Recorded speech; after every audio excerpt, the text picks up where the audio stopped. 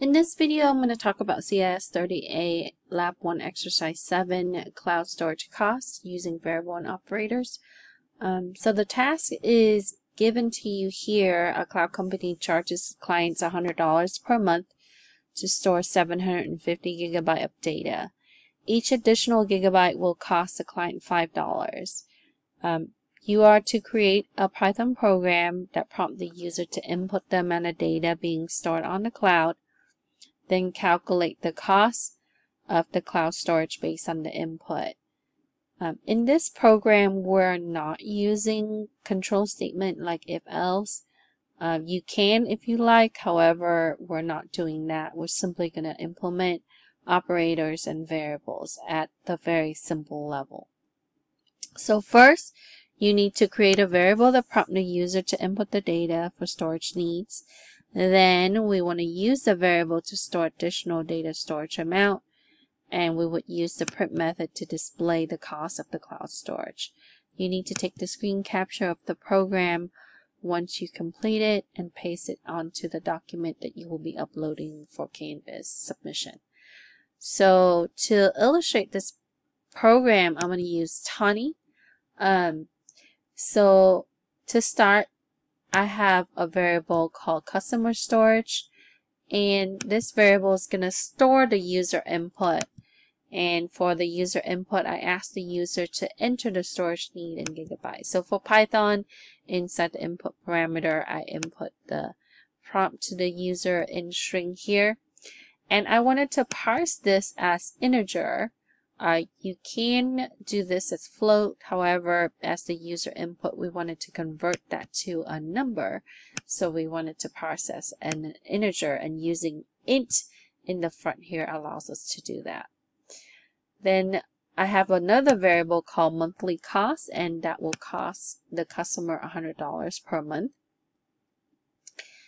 Additional storage, we wanted to take the amount of storage that they need subtracted by 750 because the additional storage cost needs to be, uh, each gigabyte needs to be an additional $5.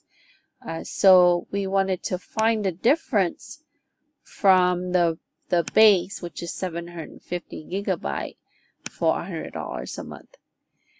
Once we have the additional storage, we need to calculate the additional fee, which will be additional storage times $5. So for each gigabyte that's over 750, we need to multiply that by $5.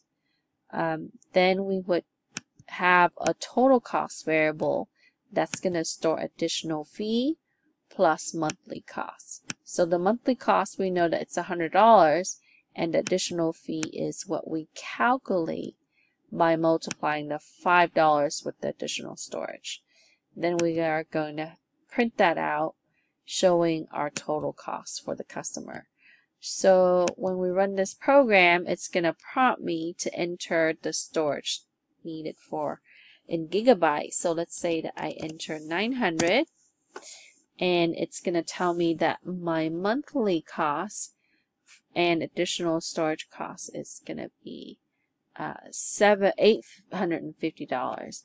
Now we can format this to show two decimal value at the dollar sign so there would be much more that we can touch it up so it would look a little bit better however this program works because it shows me the additional cost so as the customer have 150 gigabyte over the base, which is 750 gigabyte, multiply that by 5, which gives, and add that to the original cost, which gives us $850. That's required for the monthly. So to recapture this program, we have a, a variable uh, to store the user input, we parse the user input into integers.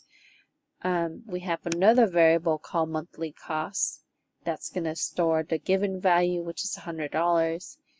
Then we have a third variable called additional storage, and that's going to store the difference between the user input and the base gigabyte value, which is 750. So we wanted to find out how much more additional storage that the customer needs. And then we would calculate the additional fee by taking that additional storage multiplied by 5. Once we have the additional fee, we would add that to the monthly cost to get our total cost.